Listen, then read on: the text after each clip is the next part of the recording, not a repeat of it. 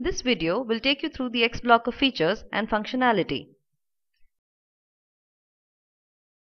When you launch XBLOCKR for the first time, you will see this message.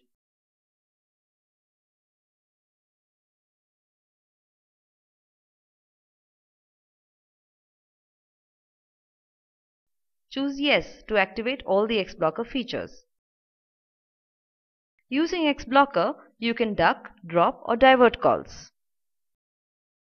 Duck rejects the call. The caller will be directed to your voicemail if it is configured. Drop will pick and instantly disconnect the call, imitating a network error. Divert will transfer the call to a third-party number customized by you. You will need the conference service enabled with your operator to use this feature. Duck an SMS rejects the call and simultaneously sends an SMS customized by you. Duck an email works the same way and sends out an email customized by you. The first option you will see is Do Not Disturb, which is disabled by default.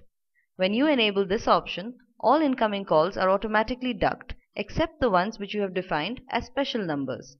To define special numbers, go to Number Lists. XBLOCKR will also send an SMS or email if the caller is in the corresponding list.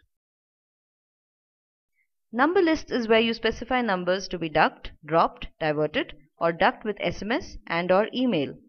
You can include unknown or private numbers by choosing the Add Private Number option in the list.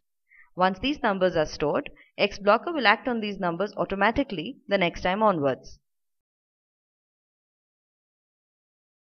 You have the option of disabling these features in the settings. Disabling any feature will nullify the action assigned to the callers in the corresponding list. Choosing Enable will resume the automatic call actions of XBLOCKR.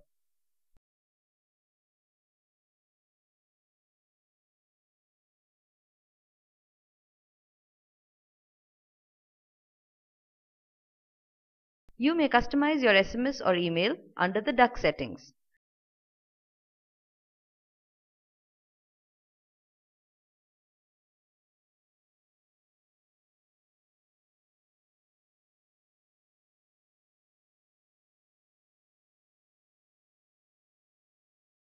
You can also define the divert number in the divert settings.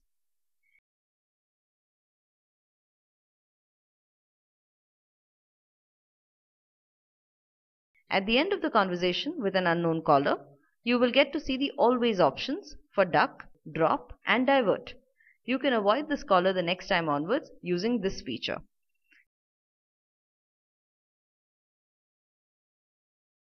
Thank you. For more information, write to us at info at xblockr.com.